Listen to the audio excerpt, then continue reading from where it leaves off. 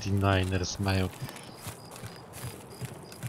The Rock im prze, ich przedstawia. Lol, jaki kurwa prom.